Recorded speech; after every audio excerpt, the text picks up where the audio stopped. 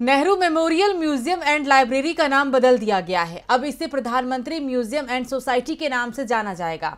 इस फैसले के बाद से राजनीति भी शुरू हो गई है। इसको लेकर विपक्षी दल लगातार विरोध कर रहे हैं। एक और कांग्रेस और बीजेपी के बीच वाक्य युद्ध जारी है तो दूसरी ओर उद्धव ठाकरे गुट के नेता और सांसद संजय राउत ने भी मोदी सरकार पर हमला किया है। दिल्ली के तीन मूर्ति भवन परिसर में मौजूद नेहरू स्मारक संग्रहालय एवं पुस्तकालय सोसाइटी का नाम बदलकर प्रधानमंत्री संग्रहालय एवं पुस्तकालय सोसाइटी कर दिया गया है, जिसके बाद से उद्धव ठाकरे गुट के नेता और सांसद संजय राउत ने नेहरू मेमोरियल का नाम बदले जाने पर अपनी प्रतिक्रिया देते हुए कहा, मैं इस बात से सहमत हूँ कि म्यूज़ियम में दूसरे प्रधानमंत्रियों को स्थान मिलना चाहिए।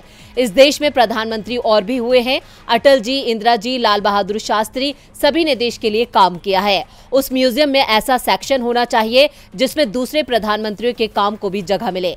लेकिन म्यूज़ियम का नाम बदलने की ज़रूरत नहीं है।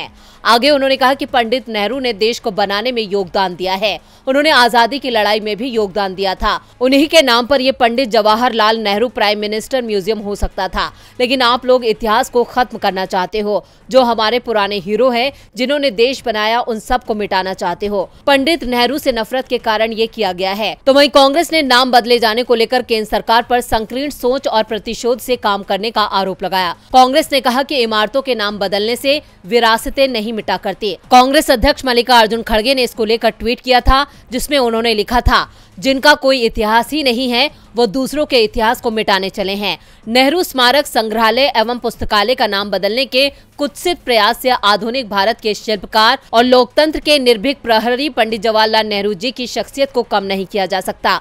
इससे केवल बीजेपी, आरएसएस की ओछी मानसिकता और तानाशाही रवैये का परिचय मिलता है। डीबी लाइव की रिपोर्ट।